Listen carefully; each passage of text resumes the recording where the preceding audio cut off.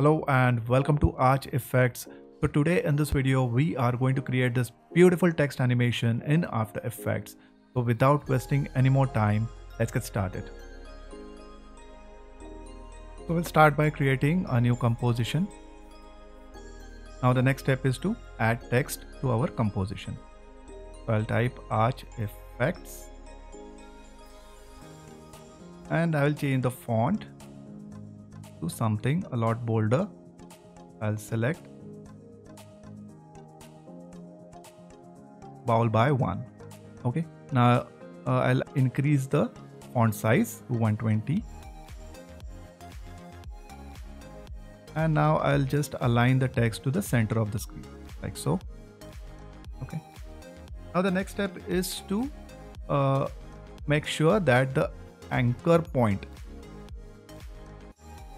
uh, this anchor point it is at the bottom of the text. So it is at the bottom of the text.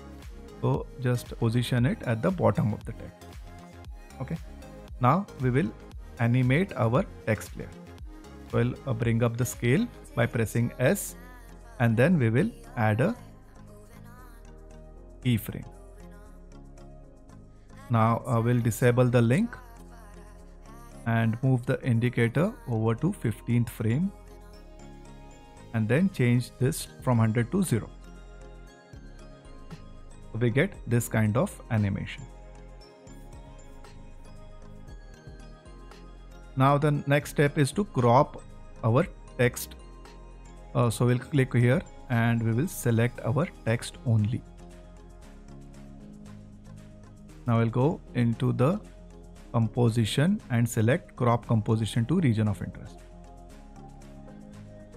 Once we do this, we are going to go inside the layer and select a new solid layer. Now uh, we'll add effect to this. Search gradient ramp and add gradient ramp to our background. Now move uh, these handles like so.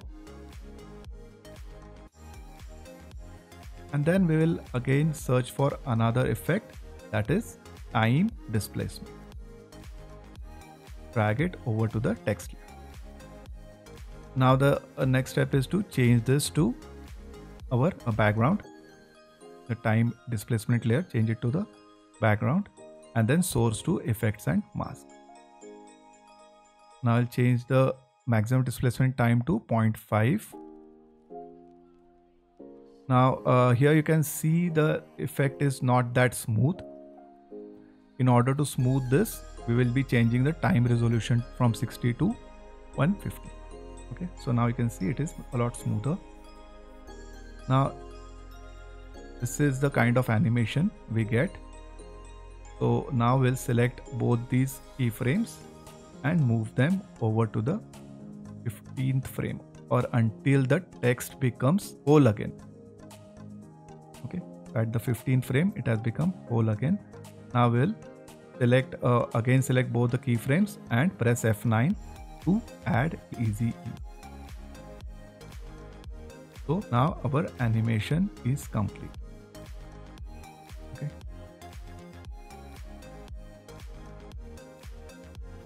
There we go.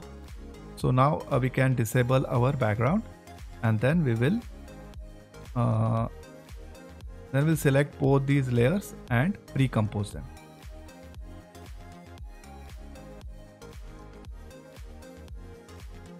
Now we are done with this. We'll create one more composition and repeat the same process. We'll create another text that is arch effect and let me align this. Now we'll change the color to something different.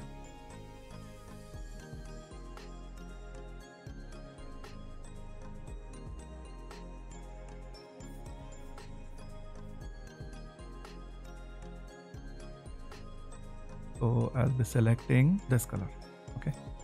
So uh, now what we are going to do is here we are going to change the anchor point position from bottom to the top. So here move it to the top. Like so. Now we'll animate our text. We'll bring up the scale and then add a keyframe I will disable the link. Now at the beginning of the timeline, we'll change this to 0 and then we'll move the indicator over to 15th frame and then change this to 100. So we get this kind of animation. Now we are going to repeat the same process. We are going to select our text and crop it. We'll click here and select our text. And then go into composition and press crop composition to region of interest. Then we'll add a new solid layer.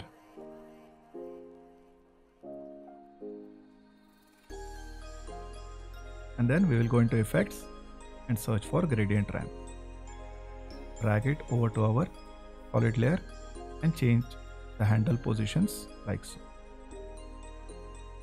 Now again we'll go into effects search for time displacement drag it over to our text layer and change this to our solid background and this to effects and mask in the time to 0.5 and time resolution to 1 so now the effect is going upwards.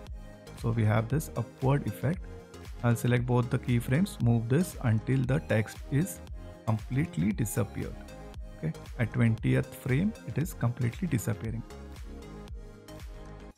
Now we select both the keyframes and press F9 in order to enable easy ease. So there you go.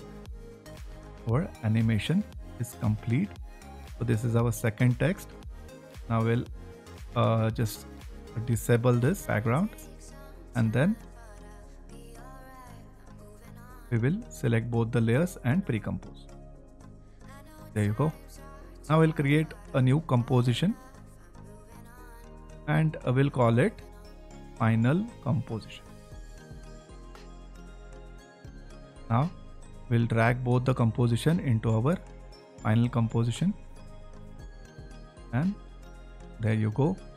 Our animation is almost complete.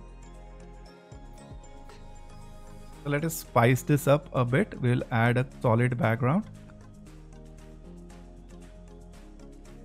and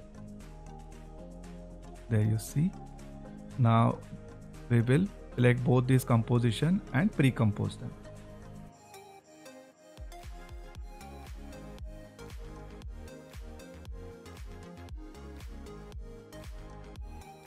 Now we will add a drop shadow to this.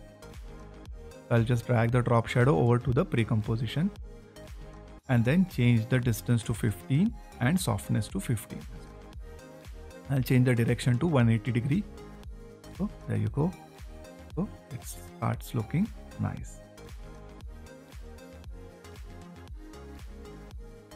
Now I'll go inside the pre-composition and I'll add a new adjustment layer. I'm going to do this to add a bevel alpha effect to the adjustment layer. Let me zoom this and then I'll change the edge thickness to 9 Oops. let's make it slightly lesser.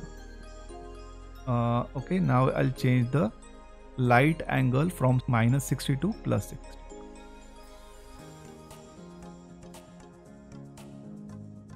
like so. So there you go. Our animation is complete. So let me go back to the final composition and just play it out for you.